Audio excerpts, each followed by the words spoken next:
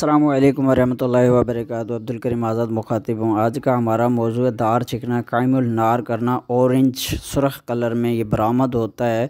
तो इसका तरीका ये है कि एक पाव मीठा सोडा और एक पाव खारा सोडा। खारा सोडा वो जो कपड़े धोने वाला होता है, इन दोनों सोडे को अच्छी तरह मिक्स करके, खरल करके, उसको मिक्स करके उसके बाद आधा बाटी में नीचे रखें और उसके ऊपर दार चिकना रखें और इसके ऊपर मज़ीद सोडा देकर बाकी बर्तन को रेत से ढांप दें, भर दें, रेत से अच्छी तरह भर दें, ऊपर रेत डाल दें ताकि सोडा नज़र ना आए। फिर इसको आग पे, आग इतनी हो कि बर्तन जो कि आपका बाटी है, इससे आधा इंच यानी कि इसको टच ना होती हो, आधा इंच नीचे आग हो।